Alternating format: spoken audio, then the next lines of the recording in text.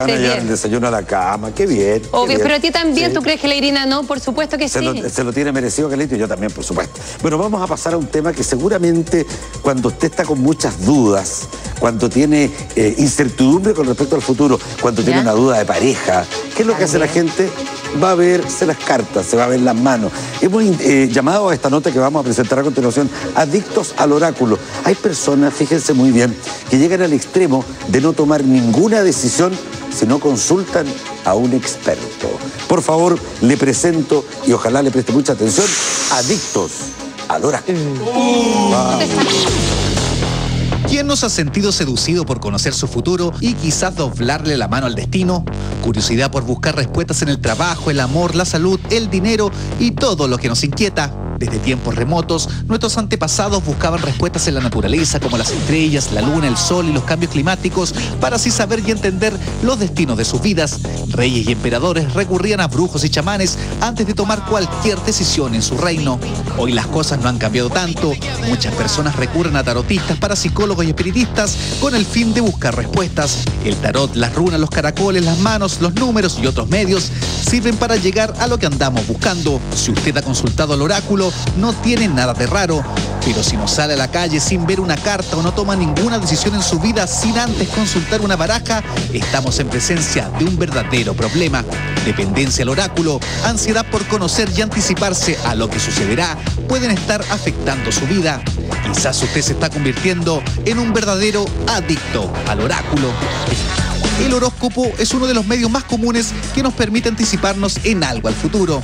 Para algunas personas es trascendental tomar el periódico y consultar lo que le deparará el día. normal que alguien eh, necesite eh, consultar a un oráculo para tomar alguna decisión, se, se puede sentir más tranquilo, más seguro. El problema estaría cuando la persona se ve imposibilitada de tomar decisiones simples y para todo necesita consultarlo. Pero ojo, el oráculo se puede transformar en un arma de doble filo. Puede entregarle respuestas, aliviar su angustia, pero a la vez desencadenar falta de confianza y seguridad personal. En algún momento tu conducta está afectando tu desempeño tanto laboral como en tus relaciones humanas y, y no poder desprenderte de esa práctica, digamos, sentirla como, como una necesidad, sería bueno tratar de hacer algo por, por ayudarte, digamos. En Chile, la consejera Yolanda Sultana es una de las más antiguas en estas lides. Son cientos las personas que la visitan en busca de respuestas, clientes que van una y otra vez a su consulta antes de tomar cualquier decisión. Dejan de venir, vuelven, dejan de venir y vuelven. Porque vienen primero si se van a casar, después que están casados, después que están embarazados. Médicos, abogados, ingenieros, ¿ya? Gente de bajos recursos, gente de la calle, como de las poblaciones. Estoy con la alta sociedad, la media y la baja.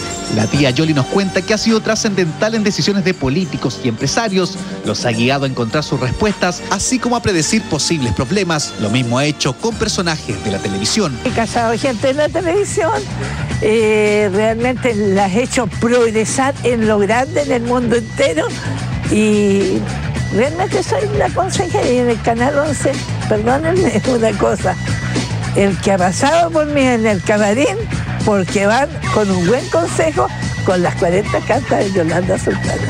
Conocer y anticiparse a lo que sucederá para muchos es una inquietud que atormenta. Pagarle a un tercero para que adivine lo que nos ocurrirá es pensar que el futuro está escrito al pie de la letra. Por eso algunas personas suelen preguntar una y otra vez. Saben que las respuestas están, solo hay que encontrarlas. El maquillador y opinólogo Gonzalo Cáceres se ha sometido en varias oportunidades a sesiones buscando respuestas en su vida. Nos habla de sus experiencias y lo favorable que han sido. hay tanta gente chamullenta, pero yo nunca vi gente chamullenta porque tú como que la rocháis a la esquina, me dijo Rolando siempre me dijo las cosas que iban a suceder, ya sucedieron por años. El esteticista consulta solo a una persona el tarot. Es un profesional que le entrega total confianza y que sabe interpretar lo que busca. Me dijo, tú en cinco meses más estás de vuelta, porque tu salud no te va a ir bien, pero te va a ir maravillosamente allá. Y van a venir unas propuestas que vienen de Chile, unas propuestas que vienen de afuera, así que eso te va a pasar, pero tú no vas a estar más de cinco meses. Según los expertos, las personas que buscan una mentalista una y otra vez viven angustiadas. No son capaces de encarar situaciones adversas si no consultan las runas o el tarot. Se sugestionan y hasta pueden llegar a colapsar emocionalmente. En la farándula hay varios personajes que no dan un paso sin consultar a su asesor emocional. Fue el caso de María José López, quien en medio de rumores, presiones de la prensa y escándalos varios, tomó sus decisiones en base a la orientación de la tarotista y guía espiritual Latife, quien prefiere no dar nombres respecto a quien llega en busca de respuestas a su consulta. Ellos ya toman en su agenda tienen como determinado que tales y tales días van a dedicar a, su terapia y a sus conversaciones conmigo. Ellos tienen que tomar muchas veces decisiones que les puede afectar en, su trabajo, porque su trabajo es muy movido y a veces están muy bien trabajando y a veces pueden estar muy complicados por una mala decisión. Entonces eh, ellos ya lo ven como necesario consultar qué es lo mejor. La curadora de almas se siente feliz de haber guiado y orientado positivamente a varios famosos, pero recuerda con mayor agrado a un futbolista, quien decidió cada paso de su carrera gracias a sus consejos místicos y hoy el jugador pasa por su mejor momento. Saqué todas esas cosas que le hacían daño y hoy día está viviendo una vida súper normal, bella, bonita, hermosa. Lo guié mucho, mucho, mucho y, feliz que hoy día tenga una vida maravillosa y le vaya muy bien y que haya salido de todos los daños que él hicieron. Lamentablemente, ella nos pidió reservas en cuanto al nombre del misterioso futbolista. Lo único que le podemos contar es que juega en Italia y está en la cresta de la ola deportiva. Y hablando de fútbol, ¿se acuerda de este simpático personaje? ¿Cómo olvidar al Pulpo Paul, un verdadero divino durante el pasado Mundial de Sudáfrica 2010? El Pulpo le ganó lejos a tarotistas y consejeros. Lo malo es que su vida fue muy corta para predecir los siguientes mundiales. El recordado Paul fue una de las máximas atracciones cuando las selecciones se enfrentaban en Sudáfrica. Sus aciertos lo elevaron a la categoría de brujo y desde su primer pronóstico logró que todo el mundo estuviera pendiente de sus respuestas. Partido tras partido, millones de personas esperaban sus aciertos y preguntaban inquietos lo que sucedería en un próximo partido. En el espectáculo internacional, las cantantes Cher, Madonna y Britney Spears no mueven un dedo sin consultar el tarot. Han decidido sus millonarios contratos, sus tormentosos amores y sus giras internacionales. Todas ellas tienen sus guías espirituales que responden sus dudas y cómo afrontar sus intensas carreras. Un caso más extremo es el de Lady Gaga, quien suma una nueva extravagancia a sus presentaciones. La cantante de Alejandro no puede viajar si no lleva su tarotista personal en todas sus giras, lo que según ella le otorga mayor seguridad en sus decisiones. La ansiedad por anticipar los hechos de la vida, el futuro y ayudar al destino es muchas veces lo que puede transformar a una persona en adicta al oráculo. A veces no pasa una semana y los clientes vuelven por más respuestas, consultan e insisten sobre un tema que no tienen resuelto. Los famosos chilenos tampoco se quedan atrás. Yo creo que no hay que no confiar, no creer en las cosas, pero tampoco hay, uno no puede vivir pendiente de lo que sale en el horóscopo y todo. Creo que estructurar tu vida de acuerdo a eso está mal. Yo creo que uno tiene que estructurar la vida de acuerdo a, sus propios actos. Yo de repente lo leo y yo que con eso algo bueno no dice sí, eso es. No mal, no, eso es mentira. Trazar una vida en base a las cartas o a leer las manos, creo que es un poquito buscando algo, buscando la fe en alguna cosa. Blanche es otra profesional experta en oráculos. Nos cuenta que sus estudios le han permitido guiar a personas de distintas áreas. Empresarios consultan frecuentemente respecto a sus negocios y grandes decisiones donde muchas veces hay involucradas millonarias sumas de dinero.